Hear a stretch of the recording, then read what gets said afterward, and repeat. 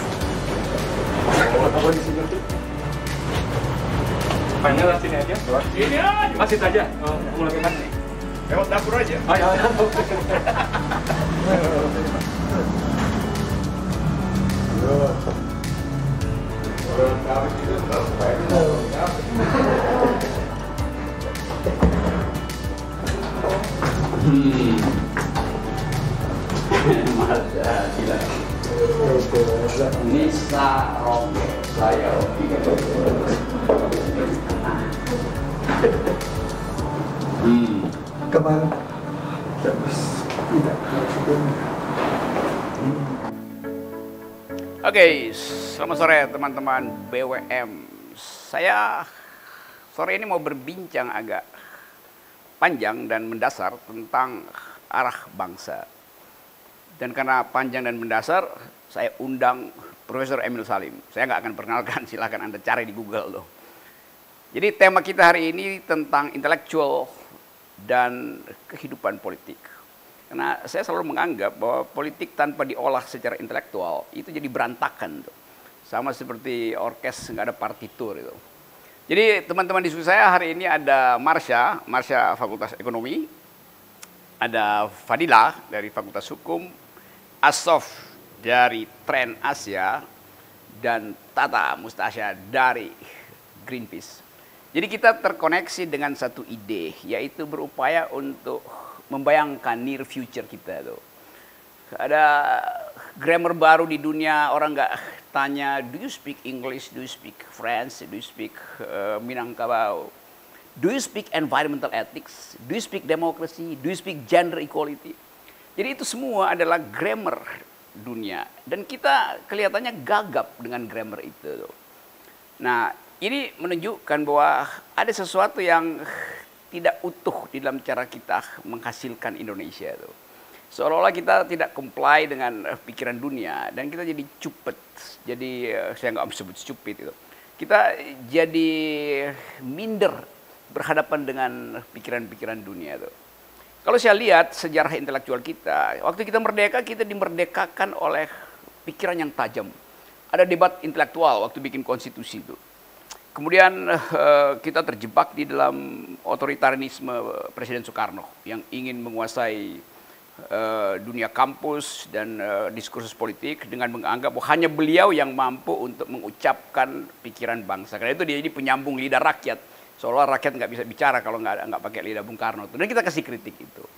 Terus Orde Baru. Orde Baru di awalnya juga ada semacam kebebasan berpikir tuh tapi karena akumulasi kekuasaan e, berkelindan dengan kepentingan kapital, lalu kita terjebak di dalam yang kemudian kita sebut eh, KKN itu.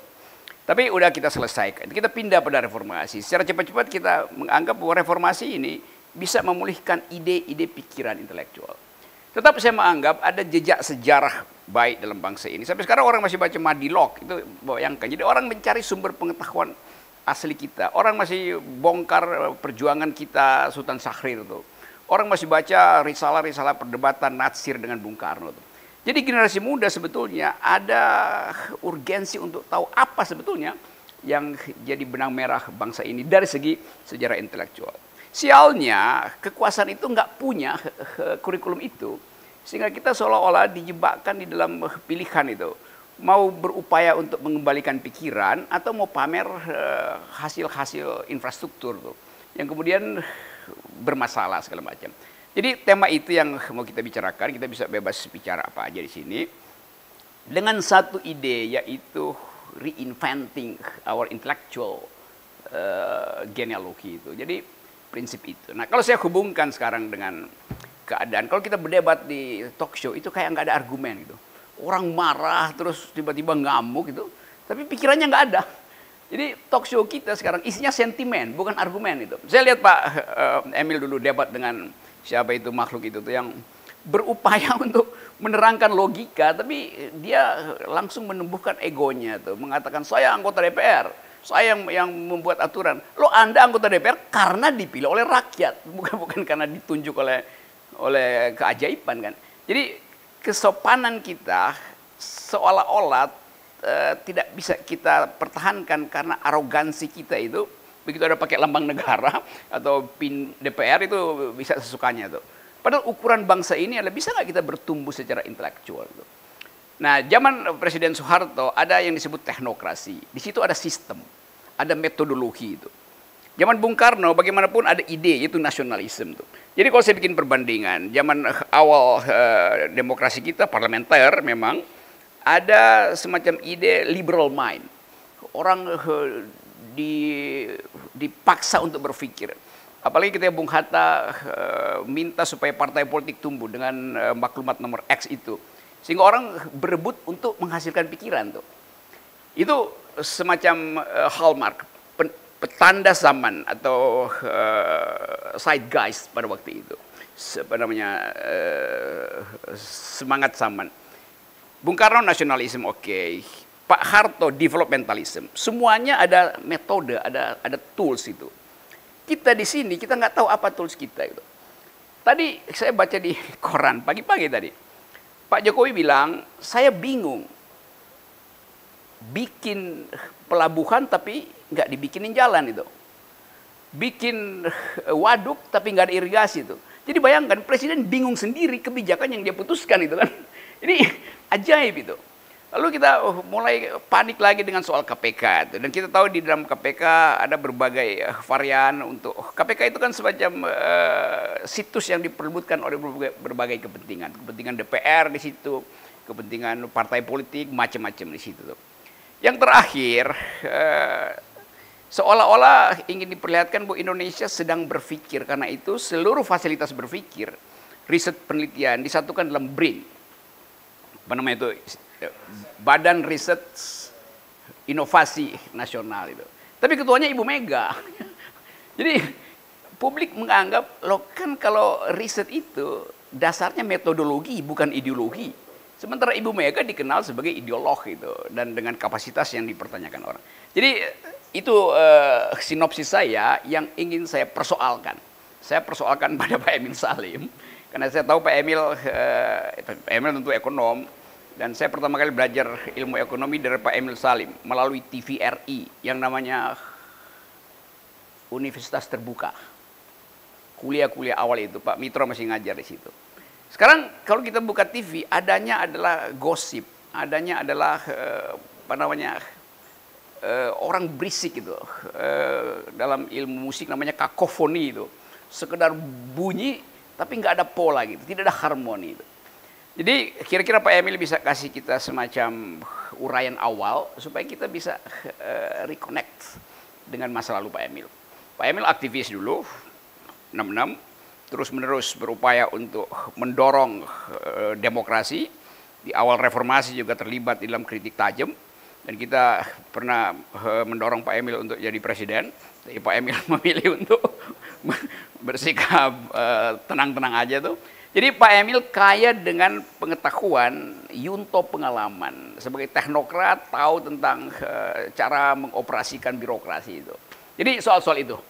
Selebihnya silakan Pak Emil pakai forum ini. Mari kita bertengkar dengan akal pikiran. Silakan Pak Emil. Baik. Pertama, posisi saya dulu. Saya adalah anak tiga zaman. Hmm. Kolonial, Jepang, Republik. Bukan anak tiga periode ya? Ya. saya mengalami masa penjajahan ya. sebagai inlander, hmm. third class citizen.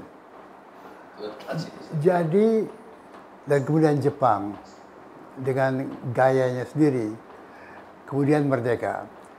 Bagi saya, Indonesia, Republik Indonesia Merdeka adalah cita-cita yang harus kita perjuangkan bersama dia tidak sempurna. Tetapi karena dia lahir dari perjuangan kemerdekaan macam-macam, saya melihat republik kita sebagai tempat yang tidak boleh kita kembali ke masa kolonial maupun masa Jepang itu.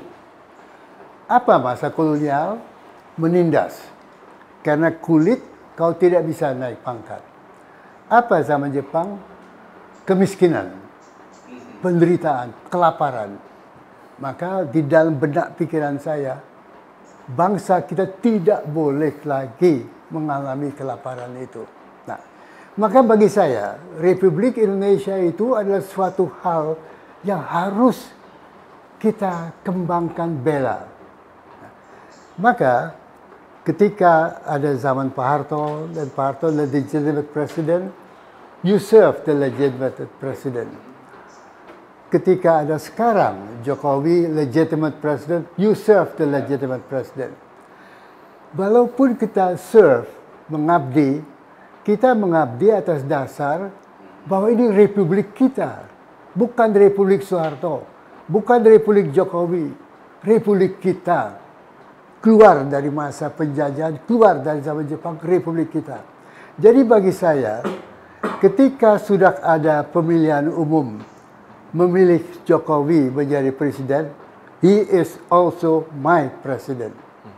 Tetapi di dalam positioning kita terhadap pemerintahan, terhadap republik dan sebagainya ini, kita tidak lepas dari tanggung jawab kita sebagai intelek, sebagai manusia yang berkesempatan belajar menjadi PhD, profesor, dan sebagainya.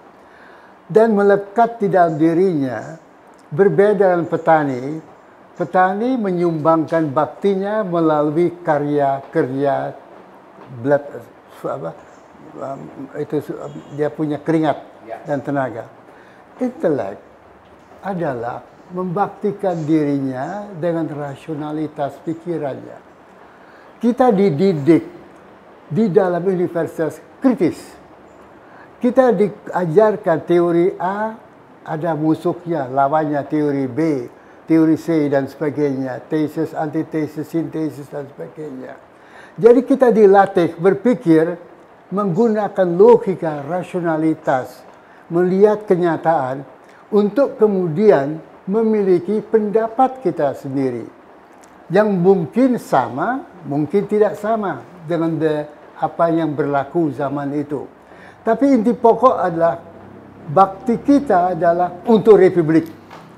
Ini kemerdekaan republik adalah suatu hal yang sangat bagi saya pribadi yang pernah mengalami inlander periode zaman kolonial adalah suatu hal yang satu berkah pemberian Tuhan yang harus saya pelihara bangun menjadi republik yang baik. Jadi, kalau ada pemerintahan yang valid seperti Jokowi dipilih, dipilih sebagai pemilu, maka sikap saya terhadap Pak Jokowi bukan bersikap oposisi, antitesis, you sana, saya sini. No.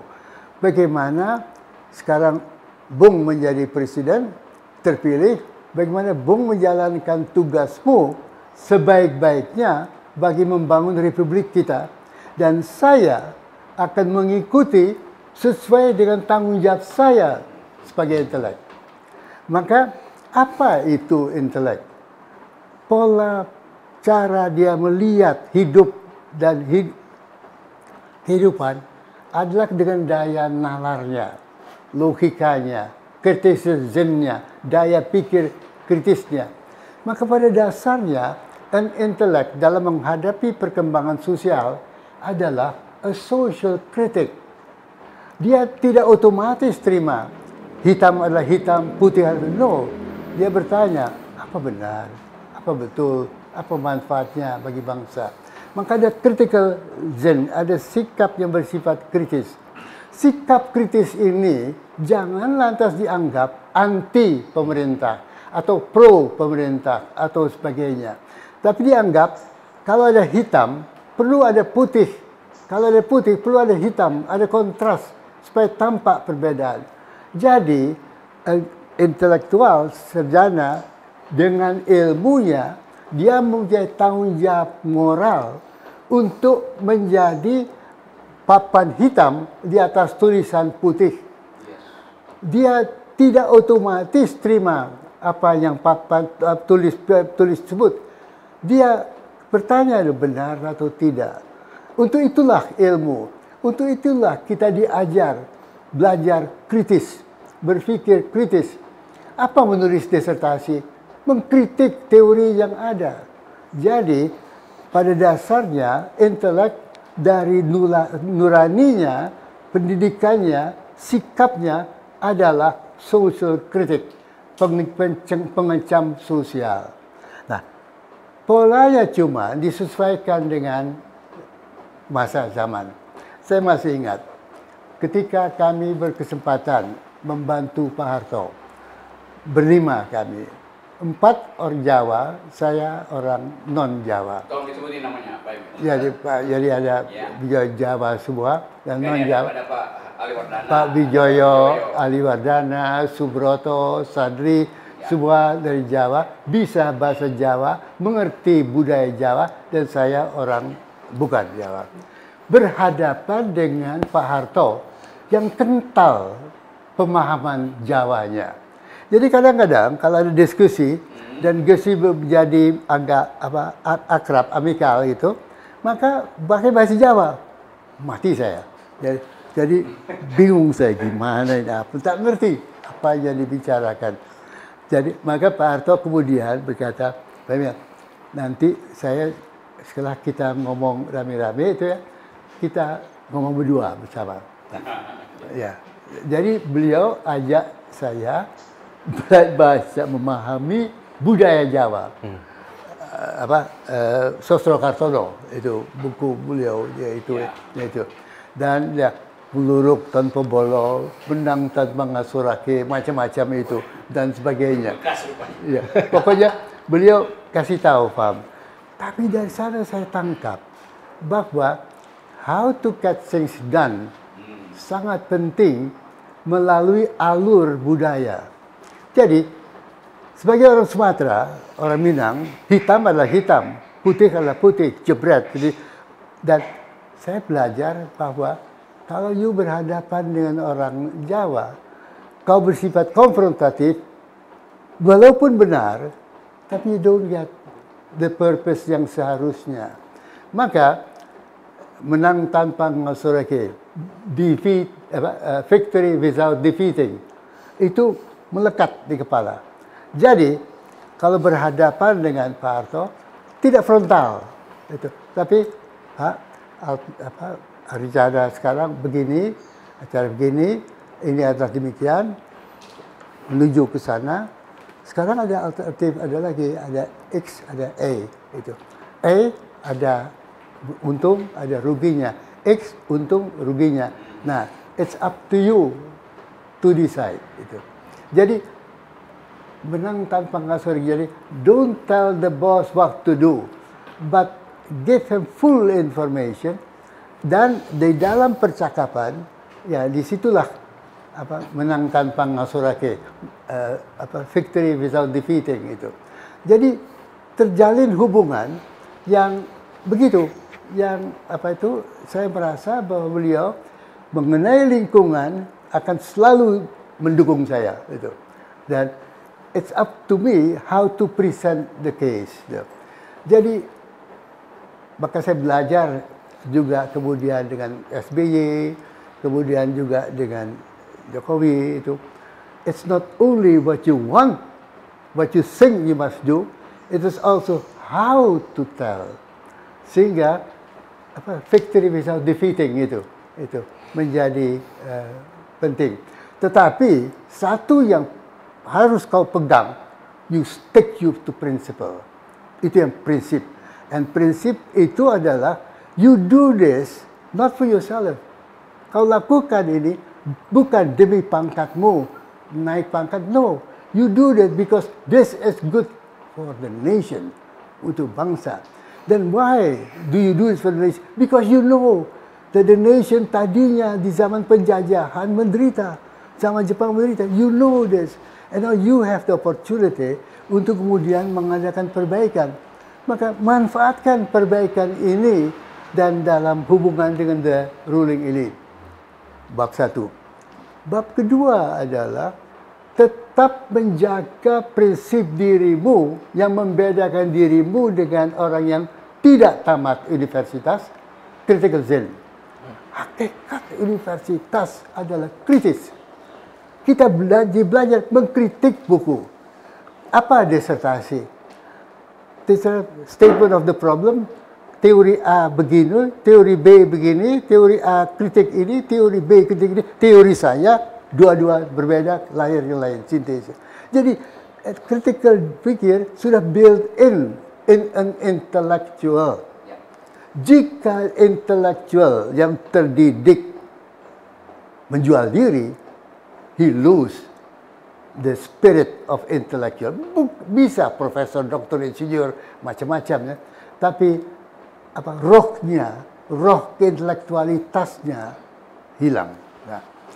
Jadi dalam kondisi sekarang ini di mana kita sedang membangun dan mengalami banyak hal, saya merasa bahwa kalau ada sesuatu yang tidak baik, ya tell.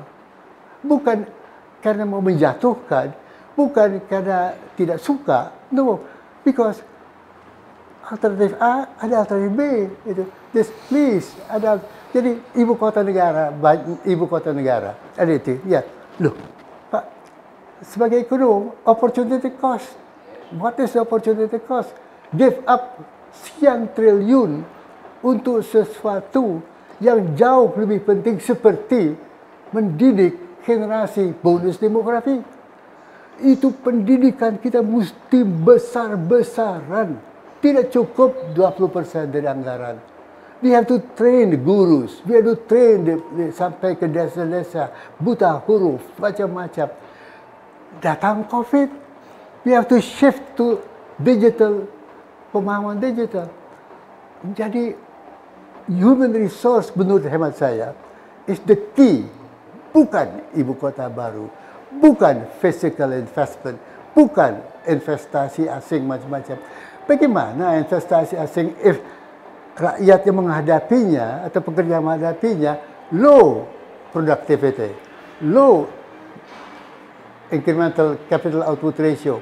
Sehingga modal yang ditanam harus lebih besar di Indonesia dibandingkan dengan India atau Vietnam untuk memperoleh hasil yang sama. It's costly. Jadi it's not investment which is penting.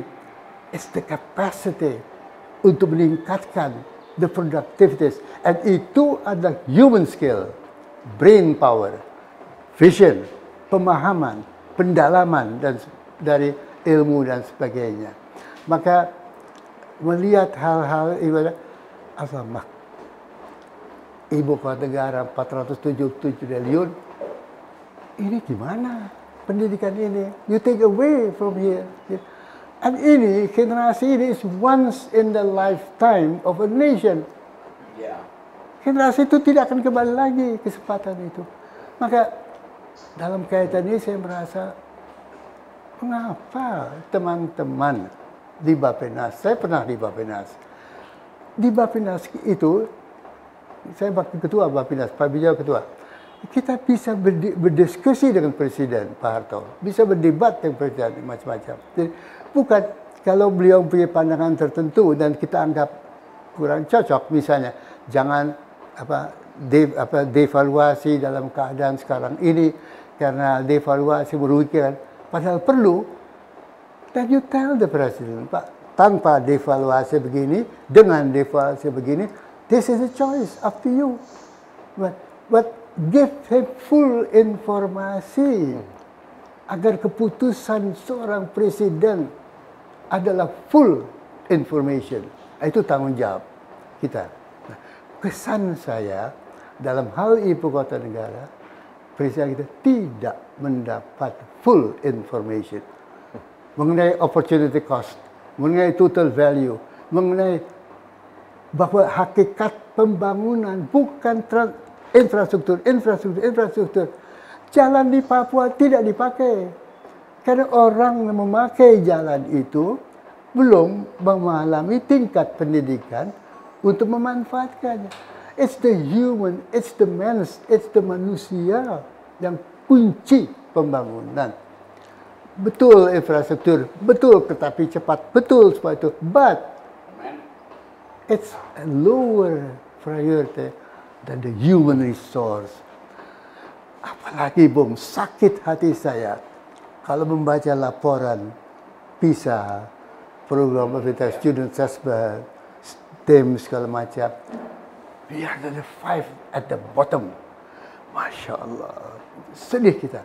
Nah, lalu kita lihat kereta api bonus li, liwat. Kita tahu bahwa kita tertinggal. Maka hati ber, hey stop kereta, hey eh kau yang boleh masuk ke sini. Tapi pintu itu tertutup. Tidak ada uang. Covid, rehabilitasi ekonomi, dan dana-dana yang tidak begitu top priority. Nah, as an intellectual, should you be silent? As an intellectual, demi membantu pemerintahan itu ya, seperti tadi demi membantu Pak Harto, jika kita tidak sepakat, you give alternative. Demi membantu, you should say no when necessary. But, dalam budaya Jawa, itu yang saya belajar, to say no, not no, but no is not yes. Gaya Jawa itu, no is not yes. Jadi, kira-kira begitu setup saya, saya melihat posisi Kalau sekarang, sekarang yes means I don't know. Oke Pak Emil, kita lanjut bentar ya. Saya dapat ini uh, teman-teman mahasiswa. Ini semacam uh, dalam 10 menit Pak Emil kasih kita kuliah tentang public policy in a nutshell itu. Dalam sekeping uh, shell itu. Nah, tadi ada ide kalau kita kasih kritik itu karena kita adalah warga republik gitu. Jadi kita ingin pertahankan republikanisme karena itu adalah uh, Pak Emil pakai istilah tadi rahmat dan bagi mereka yang mengalami uh, misteri zaman kolonial memang itu rahmat tuh. Bagi kita sekarang kita anggap itu adalah uh, necessary karena hanya di dalam republik kita menghilangkan feodalisme gitu. Kita bisa bercakap-cakap dalam kesetaraan warga negara tuh. Jadi ide republik itu yang hendak kita selamatkan kok. Jadi kalau kita kasih kritik pada pemerintah, parameternya adalah cukup republikankah kebijakan kita. Di dalamnya ada unsur justice, uh, citizenship, uh, environmental ethics segala macam itu. Itu satu satu uh, bagian tuh. Lalu Pak Emil terangkan tadi bahwa kondisi di zaman Pak Emil di awal-awal Orde Baru ada semacam grammar bersama di di dalam ruling elite yaitu mengupayakan pertumbuhan ekonomi itu karena ketertinggalan sebelum orde sebelumnya. Lalu ada semacam kesepakatan bahwa urusan ekonomi diselesaikan secara teknokratik. Oleh karena itu ada tim yang solid. Tim itu utuh. Waktu berargumen dengan Presiden Soeharto, tim ini siap dengan argumentasi. Lalu ada dua proposal masuk di situ. Silahkan Anda leader, Anda putuskan Pak Presiden. Jadi pada waktu itu ada model, ada metode. Kalau sekarang saya nggak lihat metode itu tuh. Jadi nggak ada leader, adanya dealer semua dan partai politik itu berupaya untuk majukan proposal dalam kasus e, ibu kota baru misalnya. Semua faksi di dalam politik dan dalam birokrasi berupaya untuk ngintip rent seekingnya apa buat dia. Sehingga jelas Presiden Jokowi nggak mampu untuk memutuskan. Karena beliau juga kapasitas intelektualnya memang kurang. Harusnya tim ada tim khusus yang backup beliau gitu kan. Supaya ini kroco-kroco di luar ini nggak terlalu banyak nyodorin uh, proposal yang ingin ngambil keuntungan dari anggaran negara. Nah ini terkait dengan isi kabinet yang uh, lebar betul dari partai yang kanan dari ke partai yang uh, sok merakyat segala macam dari yang paham lingkungan sampai perusahaan lingkungan sehingga partai-partai ini sebagai ruling elite nggak punya ide bersama tentang Indonesia jadi ini uh, poinnya tuh itu uh, kesimpulan sementara nanti Pak Emil komen lagi tapi saya mau dapat uh, kita share pikiran dulu Marsha bisa mulai kasih komen Prof Emil Salim me, me, sedang menguji kita tentang masa depan. Apakah kita bisa berpikir? ya.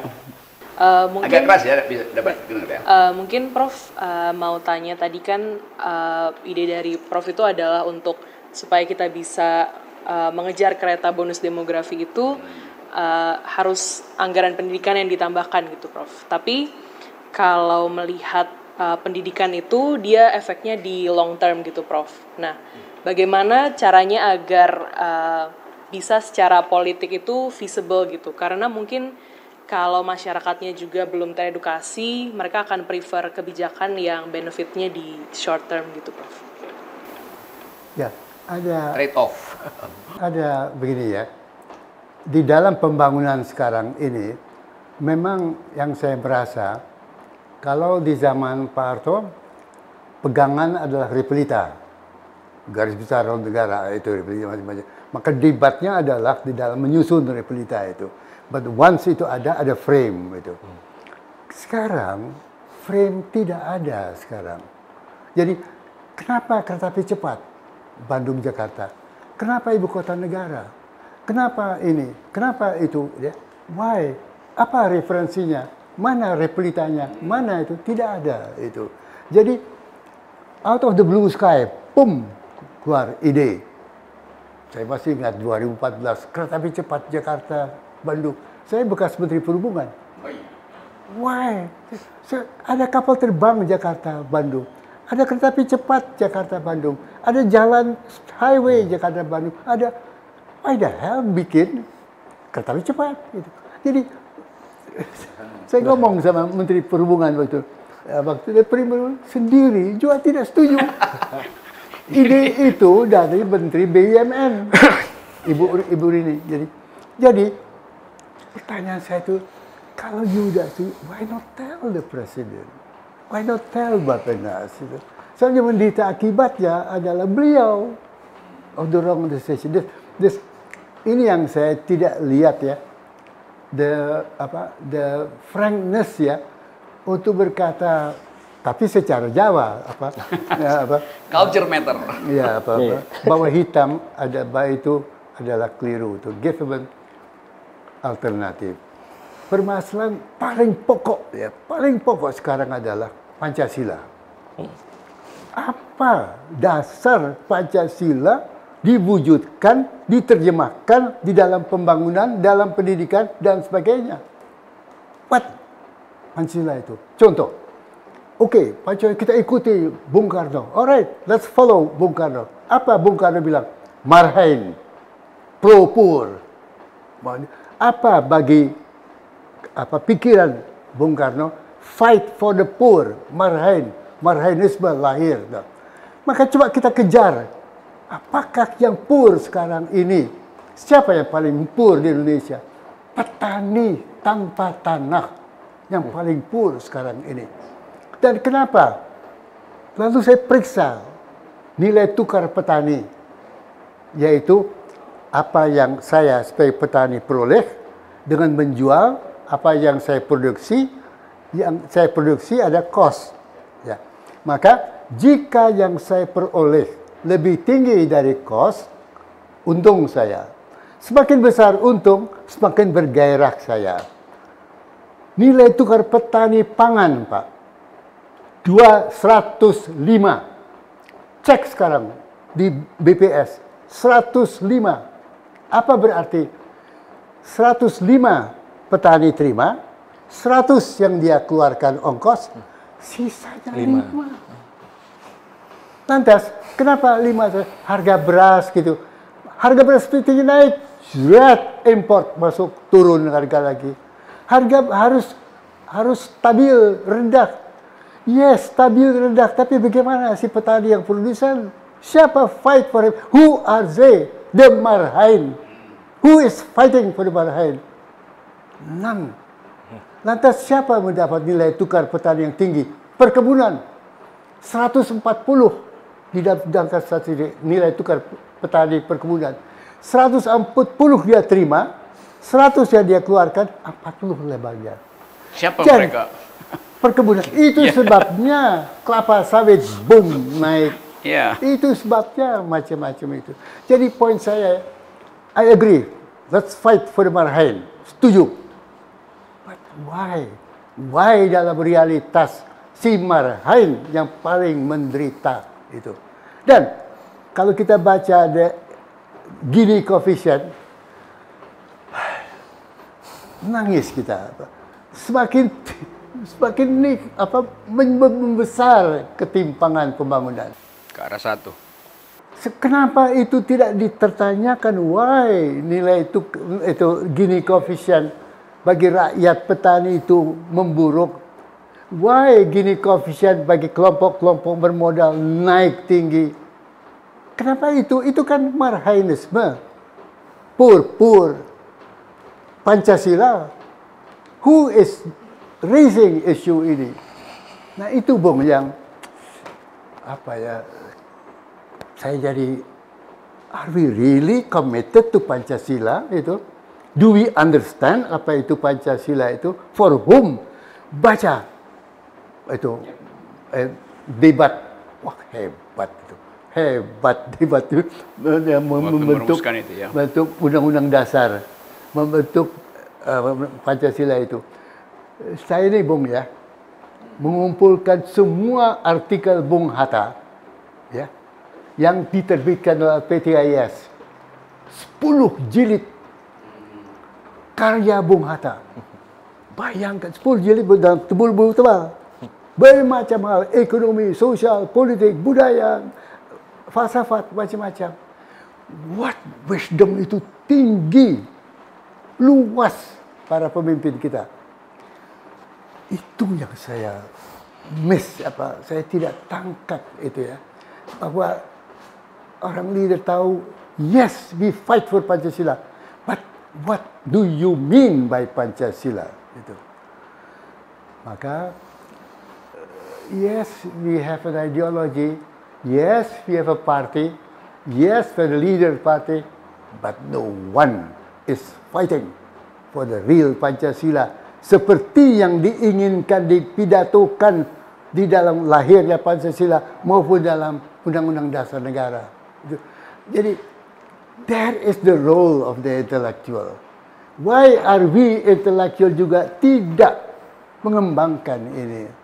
Saya mencoba ekonomi Pancasila dan saya gimana ya? How's the role of the market? Bagaimana sebagainya? Bagaimana peranan negara itu? Dan lain sebagainya. Tapi kemudian peranan negara menjadi penting. Ber, peranan si pemerintah itu sampai seberapa jauh intervensi dalam ekonomi. Apakah sampai ini BUMN yang menentukan segala infrastruktur? No, bukan demikian. Apakah food estate yang dikerjakan oleh tentara di bawah pimpinan Menteri Hankam ke mana marhain eh, i- petani-petani marhain ini? Nah, why? Kenapa para pemikir-pemikir intelek silent? Itu yang Oke, Saya- itu ya ada ada ada keheningan tapi silent itu kemudian pecah ketika 75 profesor termasuk Pak Emil kemarin mengajukan petisi soal KPK itu. Lalu orang menganggap bahwa kampus telah bangkit itu. kesan itu timbul karena seolah-olah dipelopori oleh universitas negeri dan uh, peluang untuk menghasilkan ulang gerakan intelektual itu dianggap sudah dimulai oleh para profesor. Tapi kita tahu bahwa jarak antara kegiatan para profesor ini dengan mahasiswa itu tidak nyambung itu. Dengan civil society juga banyak orang masih anggap ya itu karena ada isu yang agak seksi aja. Tapi universitas secara keseluruhan tidak memproduksi value itu, value untuk mempertanyakan itu. Jadi uh, orang anggap ya Emil Salim uh, volunteer dalam soal itu. Tapi rektor UI bagaimana? Rektor di Ponorogo bagaimana tuh? Kan satu paket pikiran mestinya dihasilkan oleh universitas untuk menyamakan kembali frekuensi bahwa kita universitas berhak untuk kasih uh, critical point of view terhadap uh, kebijakan tuh. Nah, kita mau bicara itu nanti nanti saya mau tanya uh, Fadila bagaimana mahasiswa menganggap bahwa ini era di mana pikiran sebetulnya dihindari oleh kekuasaan. Paling nggak dihindari, kalau nggak udah dimusuhi sebetulnya. Ini soalnya tuh, sehingga ada energi baru yang yang uh, bisa ditimbulkan dari gerakan mahasiswa tuh. Nah kita butuh satu sebut aja satu sugesti baru dari kampus. Kalangan profesor memulai itu. Sekarang kecemasan dari mahasiswa. Jangan-jangan nih profesor ini ngambil isu strategis saja, padahal ini lengkap dengan mempersoalkan ideologi eh, pembangunan tentang bagaimana Pancasila menghasilkan uh, trickle down pertama pada marhaen, bukan pada oligarki. Jadi soal itu yang masih kita bicara uh, lanjut nanti. Uh, Dila, coba kasih assessment, critical assessment dari academic point of view. Sebenarnya kalau misalnya tadi ngerespon... Ya, apa itu? Agak keras iya. sebenarnya kalau misalnya di, tadi ngerespon dari Prof kan yang uh, ketika uh, awalnya ada sebuah tesis di mana negara tuh sebenarnya lagi baik-baik aja tapi tiba-tiba mahasiswa mengkritisi ada antitesisnya gitu kan terus kita tuh berusaha untuk mencapai suatu keadaan ideal sintesis ini kan cuma hmm. dalam mencapai hal ini tuh kita seperti yang tadi Prof bilang um, kita mencoba untuk mengkritisi sebenarnya negara tuh lagi kenapa sih tapi uh, sekarang tuh baik dari kita mengemukakan pendapat kayak di di sekarang ataupun di ruang digital pun sekarang banyak dibatasi.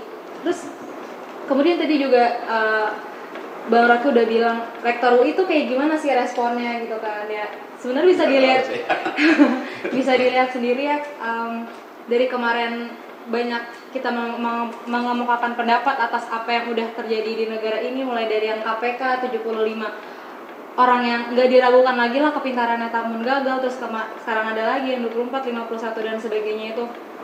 Sebenarnya kalau misalnya banyak orang yang bilang mahasiswa itu punya privilege gitu kan kita udah belajar di sebuah universitas atau sebuah institut yang emang uh, kita punya sesuatu yang kita tuh uh, bisa menimba ilmu dengan para profesor-profesor yang ilmunya itu udah nggak diragukan lagi. Namun sebenarnya uh, di sinilah orang-orang berekspektasi bahwa kalau misalnya balik ke orde baru uh, banyak yang berekspektasi bahwa kalau misalnya mahasiswa udah turun nih, mahasiswa udah bergerak nih, ini berarti negara udah nggak baik-baik aja itu kan.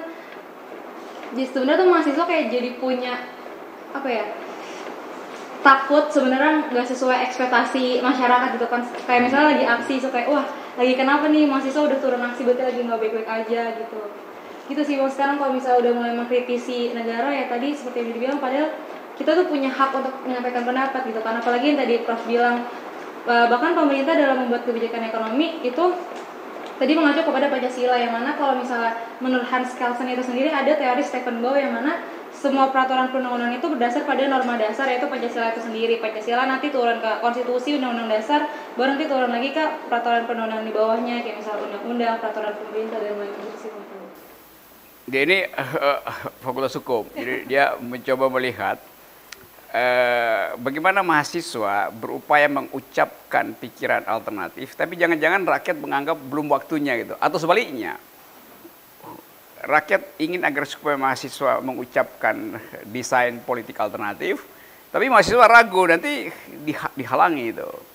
Lalu Dila hubungkan dengan teori Hans Kelsen tentang Stephen Baum teori itu.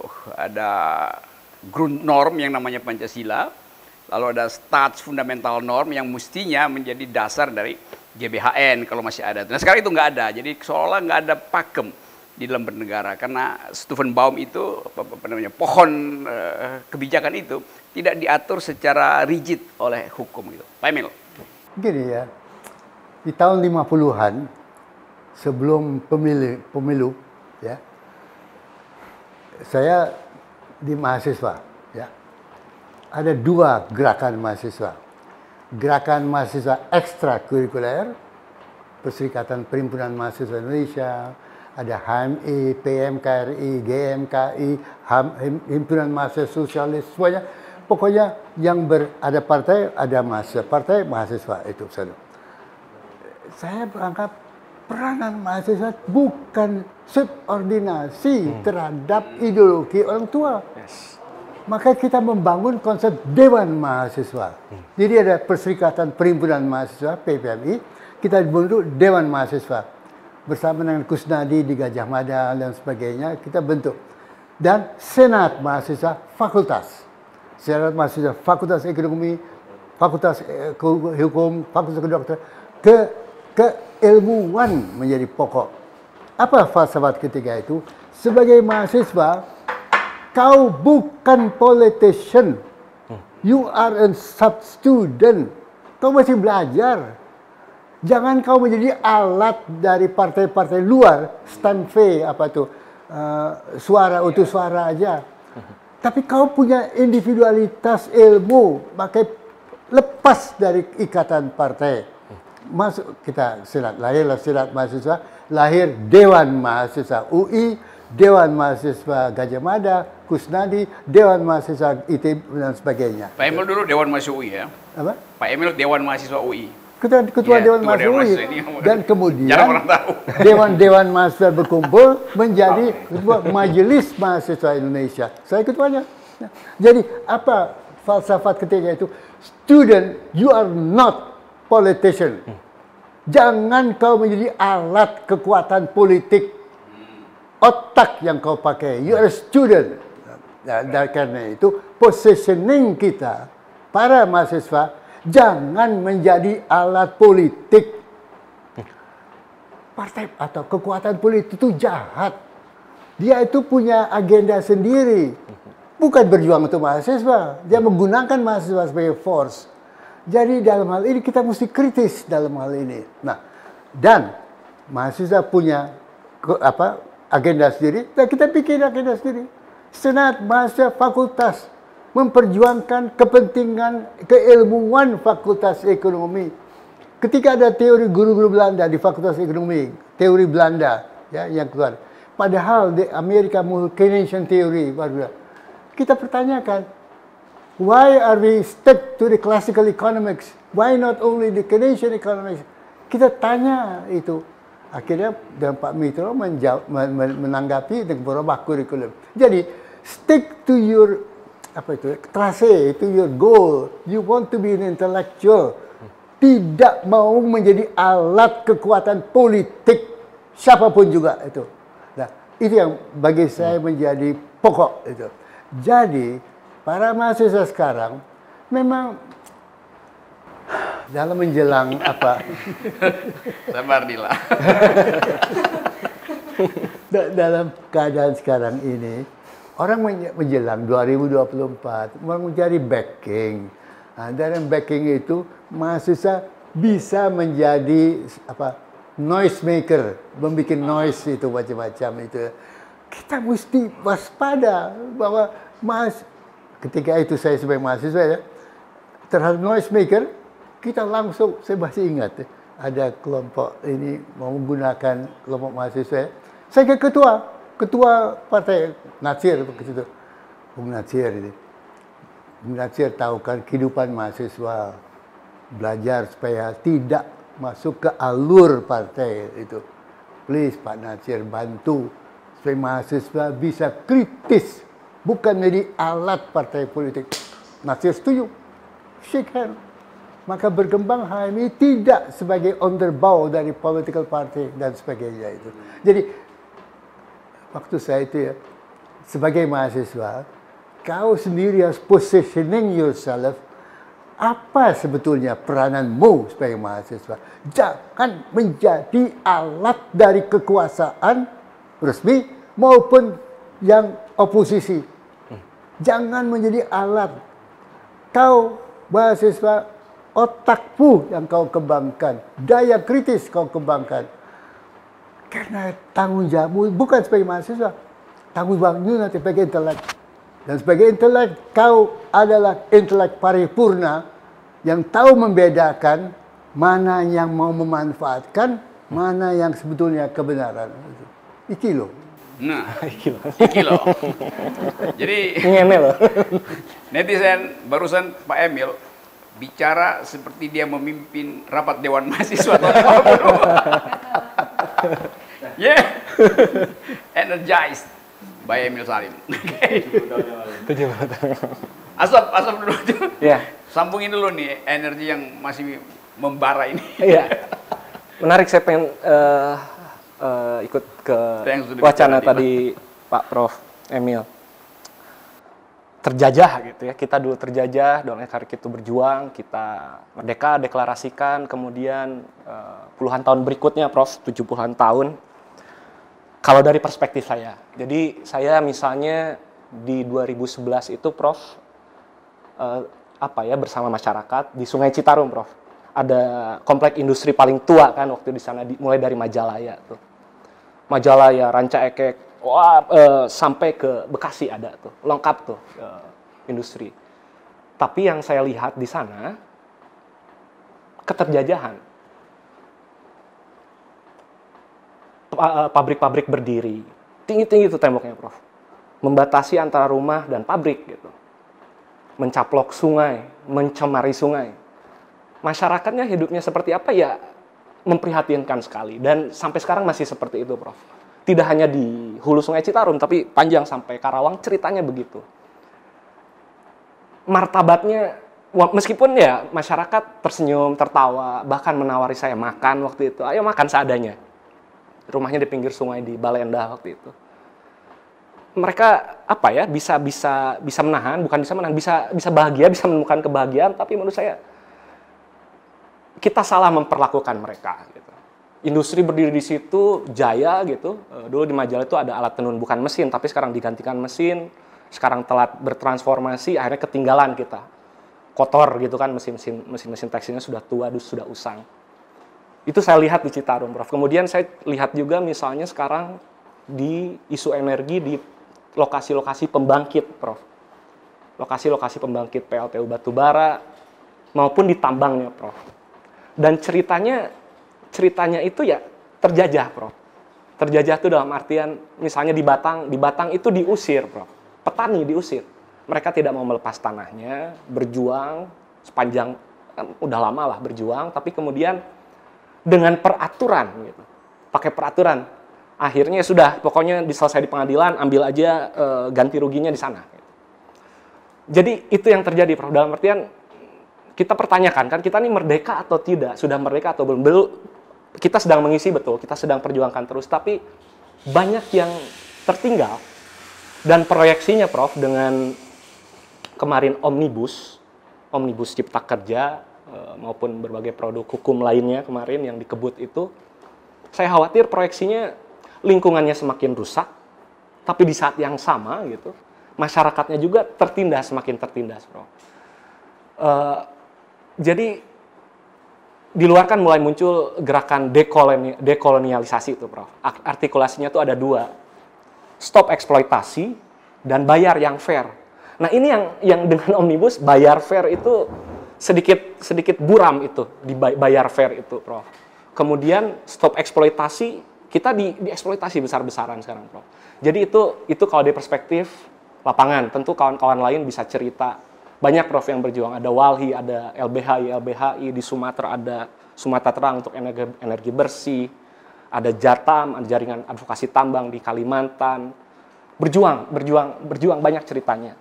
Jadi itu itu itu potretnya Prof yang yang terjadi. Eh, dan dan dari situ sebenarnya masyarakat sipil mengambil posisi. Intelektual intelektual masyarakat sipil ya dari situ. Itu itu itu pengetahuan yang mereka kumpulkan itu realita yang ada dan akhirnya berposisi seperti itu setidaknya saya mengenai mengenai menang tanpa menyakiti ini menarik, Prof. Uh, victory without defeat. Karena polanya yang saya lihat, taruhlah pemerintah gitu ya, kita sebut institusi yang dipimpin Jokowi, dia menyelenggarakan infrastruktur, proyek-proyek itu dengan mengalahkan rakyat, Prof. Itu itu itu yang terjadi. Diusir, uh, di di dihardik gitu. Bahkan di Jawa, Prof. Bahkan di Jawa. Misalnya kemarin sempat rame di Wadas. Mau di Jakarta juga. Betul. kan tadi konteksnya Jawa. Uh, di Wadas, di Pakel, uh, di Batang, di Cirebon, di Indramayu, di Banten terkalahkan, Prof, terkalahkan dan tersakiti kalau buat saya. Itu kan uh, apa ya? Pemerintah ini seperti lagi investasi dendam gitu. Sakit Prof hati mereka. Saya saya saya bisa merasakan lah gitu, diusir gitu ya. Terusir itu sakit sekali. Petani juga pun tidak terusir uh, dengan pilihan pilihan teknologi kotor gitu ya, Prof. Tercemari dan produktivitas turun karena ada logam berat terakumulasi. Itu terjadi di, di banyak tempat, Prof, bahkan di Jawa jadi menang menang tanpa menyakiti ini harusnya yang ditunjukkan oleh pemerintah, Prof. Menurut saya dan tidak ditunjukkan dan oleh karena itu saya khawatir ya aksi-aksi misalnya atau misalnya positioning yang tadi Prof mungkin bilang uh, seperti oppose, seperti ingin menjatuhkan itu simply adalah reaksi dari disakiti itu, Prof. Dijajah itu. Mereka mereka mereka sudah sudah mencoba berbagai cara. Kawan-kawan itu saya tahu banyak kok yang nyambung bahkan dengan presiden. Informasi ya mungkin ada selubung gitu, tapi informasi diserahkan. Tapi yang kita kita temui tidak tidak begitu, gitu, tidak begitu. Jadi uh, betul saya setuju dengan dengan tanpa kekerasan, tentu tentu kita setuju. Tapi uh, saya khawatir ini ini adalah reaksi simply, simply reaksi dari apa-apa yang dilakukan oleh pemerintah dengan berbagai proyeknya, dengan berbagai kebijakannya. Jadi seperti itu loh. Uh, itu mungkin yang mau saya sampaikan, mau saya tambahkan dan uh, kalau sekarang saya lihat sebenarnya ide-ide tentang alternatif itu bermunculan, Prof. Uh, karena ya salah satunya era informasi gitu. Misalnya Bang Bang Faisal Basri kemarin kita ngobrol sama Bang Faisal tanpa time lag gitu ya, korupsi naik, tax ratio turun gitu kan. Kurang lebih berarti masyarakat dapat informasi yang tadi ekspos media, kemudian akhirnya mengambil keputusan sendiri pribadi individu gitu ya tanpa banyak ribut gitu ya udah gue nggak bayar pajak misalnya gitu kan. Sama juga dengan pengetahuan prof. E, sekarang misalnya e, ada tadi gerakan degrowth bahkan prof. Degrowth yang lebih fokusnya kita growth hayu tapi materinya. Materi itu e, akhirnya sumbernya ke ekstraktif kita coba hentikan. Bagaimana kita bertumbuh tanpa ngeruk gitu lah prof. Itu sudah sampai di Indonesia, sudah dibaca oleh intelektual-intelektual Indonesia. Kemudian ada gerakan dekolonialisasi. Eh, satu dua, dua, dua, dua mata koin lah, yang satu di growth, harapannya ya negara-negara maju dulu, di sini kita dekolonialisasi gitu. Bayang fair atau stop eksploitasi. Kan itu yang sebenarnya diperjuangkan kawan-kawan Pro. Jadi pikiran-pikiran yang kita periksa dalam artian masyarakat periksa bukan dibaca oh iya hayo gitu nggak seperti tapi kita periksa baik buruknya konteksnya seperti apa uh, dan dan dan saat ini ya kita setidaknya menghadapi konteks yang sama Prof dalam konteks apa dampak perubahan iklim atau bumi yang sedang homeostasis gitu dan kita di tengah-tengahnya gitu. Kita kita terancam tenggelam kita terancam uh, top apa topan kemarin bahkan terjadi di Nusa Tenggara Timur semakin intensif. Kita konteks sekarang ada di situ dan saya atau masyarakat sipil saya terutama saya juga gitu saya berpendapat kita nggak bisa nih pakai cara lama gitu dalam membangun. Karena konteksnya sudah berubah, konteksnya sudah berubah. Walaupun betul Indonesia masih apa harus maju gitu, kita kita kita masih maju, masih banyak yang apa tertinggal, tercecer, mesti kita angkat, mesti kita advokasi, mesti kita afirmasi, mesti kita muliakan. Tapi pasti ada cara lain, pasti ada cara lain dan dan dan sudah ada gitu. Sudah ada cara lain, sudah ada uh, teorinya, sudah ada contoh-contohnya. Tinggal maukah kita melirik itu dibanding misalnya kita melirik cara-cara lama ya sudah kita seperti Prof bilang infrastruktur infrastruktur infrastruktur infrastruktur justru challenge-nya yang harus kita jawab sekarang atau pemerintah jawab itu bagaimana kita bisa maju di 2045 paling pertama saya bilang tanpa menyakiti rakyat kita saya juga rakyat tanpa menyakiti tanpa mengotori lingkungan tanpa memperparah dampak kerusakan iklim yang semakin nyata semakin nyata itu dalam artian suka nggak suka kita sedang di tengah itu. kita harus cari jalan lain, kita harus cari jalan lain. Nah, ini akhirnya balik ke pemerintah. Eh, sadarkah dia dengan konteks itu, atau misalnya dia hanya memilih memalingkan saja, udah, pokoknya kita pakai cara lama, pokoknya kita harus maju. Tapi sayangnya yang kita lihat dengan defeating the people, itu Prof. Ya, itu. Dari perspektif saya, Prof. Menambahkan dari Prof.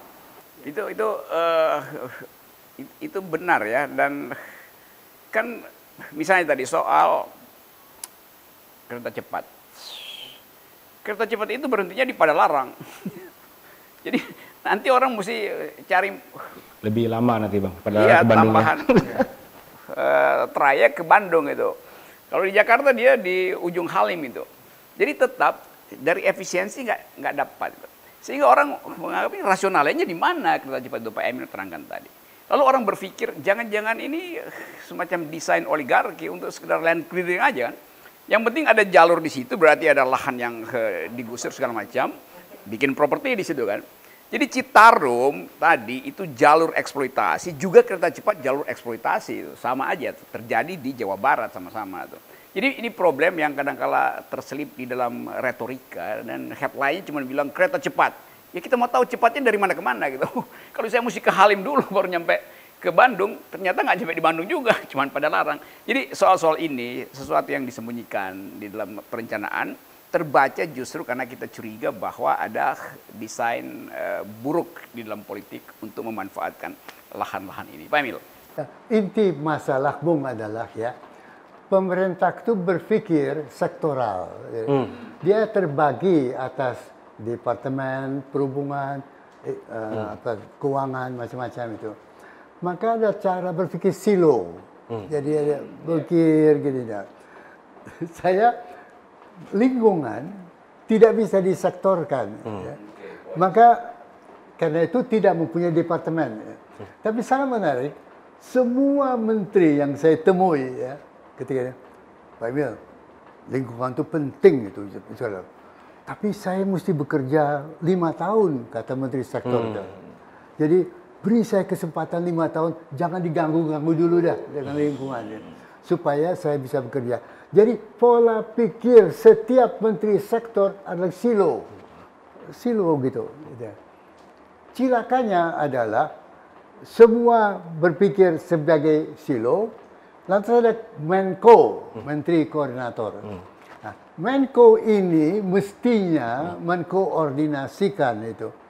Tapi dalam mengkoordinasikan itu dia mesti ada geestelijke overweight apa namanya itu wibawa eh, rohani, wibawa ada ada wibawanya itu. Kebanyakan para Menko adalah dari partai lain itu. Menteri ini menteri partai lain itu. Ya jelas Menteri X yang sektor tidak mau pada Menteri A yang koordinator partai lain itu. Sehingga apa itu ya? eh, geestelijke overwicht apa namanya itu? Eh, untuk mengendalikan bagi Menko itu agak susah gitu. Karena sifat kepartaian tadi. Nah, maka bagaimana lintas sektor ini? itu paling saya sulit hadapi sebagai Menteri Lingkungan. Lingkungan itu tidak sektor. Ya. Dia itu lintas sektor. Jadi dia mencakup hutan dan macam. Maka waktu saya masuk ke dalam World Commission on Environment Development, saya bilang I have a problem. Saya bilang ya. Apa, ada aspek ini, but there's something wrong di dalam pembangunan di oleh pemerintah ada. I face this problem, problem ini bahwa saya menghadapi silo, silo, menteri-menteri silo itu. Bagaimana membangun lingkungan jika menghadapi pola pikir sektoral, silo tadi itu. Ah, di sana kemudian debat rame-rame itu lahir sustainable development. Jadi what is wrong, yang keliru adalah konsep pembangunan. Konsep pembangunan bukan membangun jalan, ah, itu pembangunan. Memba- tetapi seperti kereta api cepat tepat ya, lupa kosnya opportunity cost, lupa untuk apa kecepatan ini, apa benefitnya kecepatan ini dibandingkan kalau dana ini saya pakai untuk hal yang lain itu. Nah, cara berpikir kotak sektor silo adalah kunci permasalahan pembangunan Indonesia. Maka dibangun jalan raya di, di Papua, yes, jebret jalan raya. Tapi siapa yang bisa memanfaatkan opportunity itu yang ada jika tingkat pendidikannya masih rendah?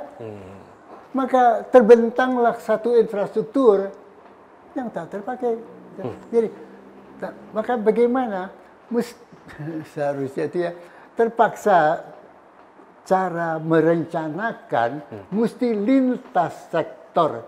Tapi lintas sektor dengan pemahaman apa apa gonta-gantinya sektor A pada B, sektor C, D. Jadi ada satu matrix dan sebagainya itu. Nah, pernya- Menteri Perencanaan kita politician, bukan expertise. Jadi dengan demikian pola pikir lintas sektor, intersektoral macam-macam itu nggak nyambung itu.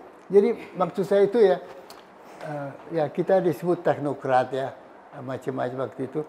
Ketika saya di Bapenas itu memang kita tanya, saya masih ingat ada satu departemen kementerian bilang, give me the money, we do the job. Saya balik bertanya, tell me your job, and we give the money. Apa jobmu? Bingung dia. Coba kau tulis. Kau mau 100 rupiah itu untuk apa? Apa itu? Kenapa di Aceh? Kenapa tidak di Papua? Kenapa eh, jalan? Kenapa tidak air? Kenapa? Bum, bum, bum, bum. Bingung dia. Lahir DIP, daftar isi proyek. Lahir project proposal. Lahir macam-macam. Jadi maksud saya, kaum intelek, kaum intelektual dia, you face a problem, don't stop in complaining. Jangan Yes. berhenti pada Of course. ya ini sektor lah payak ini juga. No, ketika saya di lingkungan, setiap menteri bilang Pak, kami tunggang kerjanya lima tahun, Bapak kasih kami jangan masuk dulu ya, fray dulu dia supaya saya bisa berhasil. Oke. menteri. diganggu dengan lingkungan. Itu saya bilang, kalau semua bicara begitu, buat apa ada menteri lingkungan?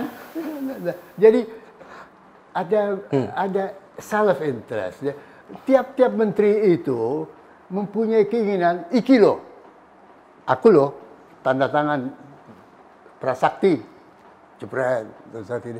Ada keinginan itu apa, macam-macam.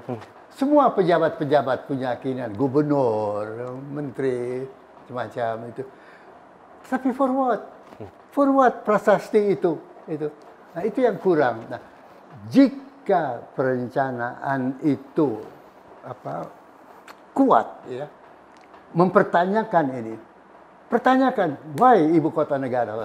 Why kereta api cepat? Why itu macam tang tang tang why. Bukan berarti membantah presiden, bukan. Maksudnya adalah membantu presiden to take the right decision. Bukan kepentingan apa kepentingan dari individu-individu yang ada berkeliaran di macam-macam itu. Jadi inti pokok dari buku adalah the karakter pembangunan negara berkembang adalah lintas sektor sehingga menghendaki a holistic approach. Satu. Dua, pola pelihatan bukan ini sumber daya alam bagaimana aku memanfaatkan gali lubang tutup lubang macam sehingga pertambangan menjadi nomor satu, bongkar tanah itu menjadi dua, bongkar sungai menjadi ini. No, Tuhan memberikan alam ini, kita tanya dulu dong, why alam ini? Mengapa tidak? Bukan resource eksploitasi, tapi resource enrichment, perkayaan resource. Kenapa? Kenapa Jawa adalah benturan Jawa Sumatera benturan lempeng-lempeng Australia sama Asia? Terjadi bukit barisan di Sumatera uh, gunung-gunung di Jawa ini. Lain. Kemudian island di timur pulau. Lain. Wallace lain So, kemudian Kalimantan tidak ada benturan lempeng Sendiri. Kalimantan tidak ada gunung wetland Wetland. negara air. Jadi jangan samakan pemeliharaan pembangunan Kalimantan sama seperti Jawa Sumatera. Bagaimana? Bagaimana? Bukan bukan bukan saya anti anti please it's a different different ecosystem. Maka membuat food estate Di di. Kalimantan, Mem- air disalurkan, air gambut disalurkan, tanam padi. Aduh, costly. Tidak cocok dengan daya dukung lingkungan. Tapi itu mestinya para ahli-ahli lingkungan ini yang bicara dengan Libapenas, dengan ini. Yes. What is the dimension of ecosystem? Itu Kalimantan itu lain dari Jawa itu. Tidak bisa disamakan. Nah, maka bagaimana dong bangun Kalimantan? Ya kita cari jalan lain. Wetland, air, bagaimana value added of air. Jangan ikan patin, ikan arwana, jangan dan sebagainya itu ya. Jadi tiap-tiap karakter pulau Indonesia itu mengendaki pendekatan ekosistem.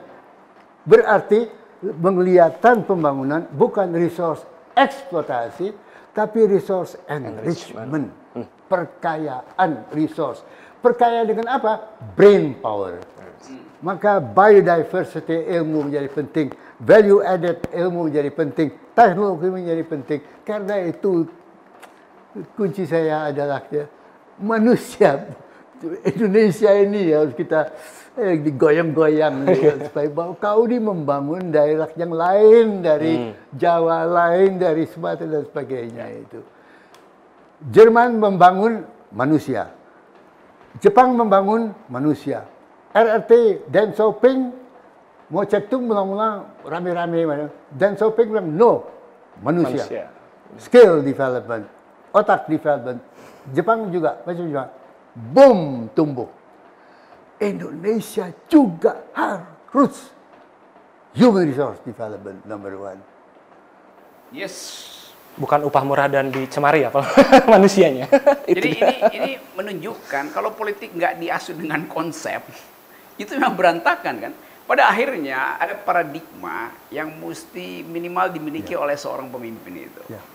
Dan eh, kalau tadi misalnya, eh, oke kalau kita mau ajukan tesis bahwa kita mesti hidup Ya. dalam ekosistem, berarti hukum lingkungan itu dia mesti jadi payung dari hukum yang lain kan. Ya. Jadi hu- hukum infrastruktur segala macam, hukum bahkan hukum pidana mesti berpayung pada hukum lingkungan. Tapi hukum lingkungan juga cuma jadi satu hukum itu yang bersaing dengan hukum akumulasi itu. Padahal hukum lingkungan menjamin diversity dan menjamin eh, egalitarian ethics itu. Hukum akumulasi ya dia cuma soal ya akumulasi distribusi nggak diperlukan. Jadi saya anggap bahwa eh, semua orang bisa bicara tentang sustainable development itu. Ya. Tapi presiden mesti tahu ide di atas itu yaitu the sustainability of the idea of sustainable development. Kan? Jadi begini Bu ya, apa saya mengerti presiden itu punya seribu satu soal Yes. ya. Dia bukan ahli lingkungan, bukan it's the intellectuals. Ya. Kita yang harus ngomong, beritahu, mem- memasukkan macam dan sebagainya itu. Tahu tidak Bung ya? Statistis ya, para sarjana ini 60% dari sarjana koruptor. Itu betul. Ini data keren. Iya, iya. Menurut, Empat ada. menurut pengakuan dari Kementerian eh, PNK. Jadi di- dia punya otak but keren. Masya Allah, something is wrong di dalam cara kita me- mendidik itu. Jadi don't expect bahwa kalau sudah menjadi sarjana, saya sudah sudah hebat. No, jadi penyakit itu mungkin. Maka human resource development menjadi penting. Maka ketuhanan yang Maha Esa, baca nomor satu ya. What does it mean? How to make agama itu instrumental di dalam men-shape si manusia ini. Tahu tidak, Bung, saya sangat kagum pada Baitul Hikmah. The House of Wisdom. Ya. Dipimpin oleh Al-Khawarizmi. Siapa itu Al-Khawarizmi? Pencipta Al-Jabar. Pencipta angka nol. Masya Allah. Satu ulama terpandang memimpin Baitul Al-Hikmah, agama Islam menjadi membudaya di seluruh dunia pada abad kemudian itu. Jadi agama itu can be an inspiration of science development itu. Abu Sina, macam-macam itu ya. Nah, why kita tidak kembangkan ketuhanan yang Maha Esa bermuara pada peradaban manusia berasaskan ketuhanan ketuhanan Maha Esa. Kenapa kita gimana sih historia Al-Khawarizmi itu? Pencipta Al-Jabar, pencipta angka nol, pencipta... Padahal ulama ketua Baitul Al-Hikmah. Why cannot we do it? Itu, itu. Padahal kita Indonesia yang negara pemeluk Islam yang gitu besar. Why not to the quality? Why stick to the quantity? Itu itulah. Jadi ketuhanannya Esa, pikiran saya ke bagaimana ya. Nah, maka A, B, C, D macam-macam kita jabarkan, kita diskusikan how ini semua. Demokrasi itu gimana yang sebetulnya itu. That is the task dari intellectual itu. Hmm. Yes, itu ya sang ulama pencipta aljabar dia datang dengan prinsip pikir pikir pikir baru kerja kerja. kerja. Kelewat. Tapi bukan hanya pikir aja, pikir, tulis, yeah. diskusi, debat itu loh. Jangan pikirannya diem. Oh ya. Tentu. Oke, okay, Tata coba coba dilanjutkan dulu nih. Komplain-komplain uh, kan Tata dari Greenpeace dan uh, bikin advokasi tentang pemberdayaan rakyat. Kadangkala hanya bisa melalui satire, melalui artistik film segala macam. Karena kalau mau duel di lapangan itu bisa ditangkap langsung oleh intelijen itu apalagi kalau udah nyinggung soal uh, tanah, hmm. lingkungan, sumber daya itu uh, potensial untuk dibeku itu. Yang dibeku adalah orangnya bukan pikirannya. Oke, okay, Tata. Iya, Prof. Tadi saya dapat banyak banget nih dari Prof Emil tentang sebetulnya permasalahan-permasalahan yang kita hadapi ya dalam berkampanye selama ini. Kok kita terutama akhir-akhir ini kita kesulitan tadi disampaikan oleh Bang Rocky uh, untuk mendorong sesuatu yang baik. Nah, saya mencoba menyambungkan yang dikatakan oleh Asof dan Prof tadi. Kok pembangunan sekarang ini selalu mengalahkan rakyat? Mungkin kalau saya perluas, mengalahkan lingkungan juga. Tadi Prof menyampaikan uh, sebetulnya itu tugas intelektual kan, ya. tugas intelektual baik mungkin akademisi, mungkin aktivis, tugas para sarjana ya kalau istilah uh, zaman dulu. Nah, saya melihat memang ini sebuah kunci ya dan dan ini yang hilang sebetulnya dari terutama mungkin akhir-akhir ini dan setelah reformasi ternyata kita tidak tidak tambah lebih baik gitu reformasi yang Bang Rocky sebagai dosen ikut demo saya semester 2 waktu itu tingkat satu ikut uh, demo juga nah yang saya lihat sekarang berpikir ya tadi saya belajar dari Prof ternyata berpikir itu tidak rumit gitu ini yang mungkin simple kan bicara opportunity cost ketika bicara ibu kota negara banyak opportunity costnya tadi terutama mengenai pembangunan sumber daya manusia terus kemudian bicara uh, kan kereta api cepat itu rumit sekali perdebatannya sekarang, Prof. Yeah. Soalnya kan teknis itu. Tadi saya oleh Prof, sudah ada jalan tol, sudah ada kereta biasa, sudah ada pesawat. Jadi saya saya melihat bahwa uh, hilangnya sikap intelektual yang pertama ini berpikir ya hilang gitu sekarang itu. Padahal berpikir itu tadi simpel, asal kita berani berpikir dan mau berpikir untuk untuk untuk para intelektual. Nah ini yang pertama. Terus kemudian yang kedua ini tantangannya Prof yang saya lihat tadi adalah independensi. Karena kita kan berpikir tapi kita nggak independen. Okay. Nah independensi ini sekarang malah mulai digerus ketika kuliah kan? Eh, saya nggak tahu angkatan berapa yang ada uh, fakta apa? Oh fakta integritas.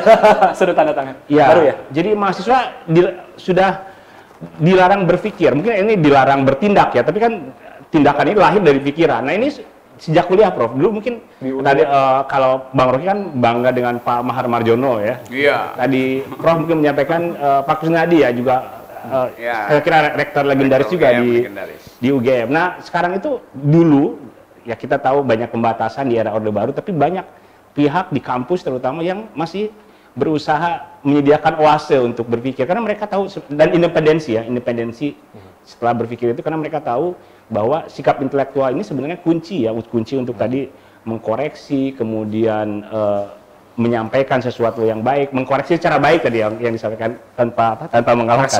Dan juga mencegah uh, pembangunan ini mengalahkan rakyat dan mengalahkan mengalahkan lingkungan uh, kalau yang kalau yang saya lihat ya. Nah kemudian saya punya pertanyaan kepada Prof Emil sebetulnya karena tadi kalau saya memahami kita mungkin cukup memahami ya bahwa banyak cara untuk menyampaikan sesuatu yang baik terutama kepada pemerintah yang uh, valid ya dipilih oleh rakyat. Nah tapi kemudian dengan berbagai cara itu tentu kita perlu mengetahui Prof sebenarnya kita ada di mana tadi Prof sebagai anak tiga anak tiga zaman ya Prof ya Tiga zaman. Eh, meng- banyak mengacu kepada misery ya itu yang harus dihindari kita sebagai sebagai bangsa yang merdeka kita punya Pancasila kita tidak boleh lagi ada diskriminasi seperti seperti masa kolonial tidak boleh ada kelaparan tidak boleh ada kemiskinan nah dengan kondisi sekarang mungkin untuk bahan kita Prof kira-kira mungkin eh, Prof sebagai pengajar dosen ini nilainya berapa Prof kira-kira kalau A sampai F sehingga kita bisa punya uh, reality check yang tepat untuk kita merespons itu Prof. Itu tadi mungkin uh, caranya bisa berbagai macam ya Prof. ya. Gini Bung ya, seorang pemimpin kekuatannya adalah always think one step ahead. Jadi kalau ini pengikutnya, dia selalu one step ahead. Jangan kau tertinggal di dalam berpikir. Selalu mesti lebih maju. Nah, maka kalau kau mau lebih maju itu one step ahead, persoalan yang kau tangani juga persoalannya bukan hari ini. Bukan persoalan bagaimana pemerintahan segala macam itu KPK macam-macam bukan itu. Tapi one step ahead. Ke mana ya kita mesti pergi? Coba bayangkan. Indonesia di dalam kualitas intelektual kita berada pada industri 2. Ya. Industri dua adalah satu satu bangunan industri yang didasarkan pada listrik. Sekarang orang sudah berpikir industri 4, artificial intelligence, digital macam-macam. Dia berkembang ke industri 5 itu. Di dalam industri 2 dan 5 macam-macam juga ada society 2, society 4, society 5 itu berkembang itu. Jadi perkembangan da- dalam dalam teknik pembangunan bukan hanya cara membangun, but ini mempengaruhi dia tatanan sosial yang mengikuti proses pembangunan itu. Pertanyaan saya, siapa memikirkan industri 5 dan society 5 di kalangan intelektual kita? Siapa yang bisa berkata, Pak Jokowi, please, arahnya ke sini Pak. Karena ini ke industri 4, 2, 3, 4, 5, society 3, 4, 5. Sehingga demikian, beliau yakin bahwa apa yang kita kemukakan itu bukan sekedar lip service, menjilat. No, Pak, this is the future. Kalau ini tidak ditempuh, habis kita. Nah, maka apa poin saya? Kita intelektual jangan berhenti belajar. Saya terus terang ya, di, di- bergumul di otak saya, pikiran yang saya berdiskusi dengan teman-teman. Cara matematika kita, kenapa kita rendah di matematika kita? Cara pengajaran yang harus kita rubah. How? Nah, saya cari ahli matematika, coba gimana sih kok kita konyol betul matematika? Science, kenapa gitu? Bioscience, bioscience kita tidak tahu memanfaatkan value added dari begini Pak ya. Suku Dayak ya, Pak Medang di Putu Sibau di perbatasan eh, Kalimantan Barat itu. Dia kepala suku Medang namanya itu. Lantas suku Iban Bedang. Saya kunjungi desanya. Saya lihat keadaan desanya itu tidak ada pusat PKM, pusat kesehatan masyarakat, tidak ada dokter, tidak ada macam-macam. Itu saya tanya sama dia, kalau you sakit ya, rakyatmu sakit gimana? Sakit apa pak? Sakit kepala gimana? Tap daun ini pak yang kita pakai. Kalau kau sakit perut, ada sungai di sana itu, ada apa? eh, siput-siput kecil itu, siput-siput itu kami kumpulkan, kita apa? Goreng tanpa minyak ya, goreng, goreng. kita tumbuk, itu kita minum. Ya terus saya terus ini membual kawan ini ya. Dia kasih saya contoh satu. Terus saya tanya sama dia, kau sendiri gimana? Sakit tujuh keliling pak, puter-puter sakit itu. Jadi apa yang kau lakukan? Aku ambil dari korek dari kantong ini ambil korek api, berisi pacat, tinta. Nanti apa? Aku taruh sini. Lantas apa? Saya suruh dia gigit dan saya tidur. Lantas bang bangunnya aku sehat. Hmm. Ah, bagaimana? Masa begini? Bapak tidak percaya. Ini saya kasih kepada Bapak. Saya bawa siput yang itu dan ini saya bawa ke lembaga biologi. Saya tanya, tell me, ada apa ini kok bisa semua? Apa kata dia?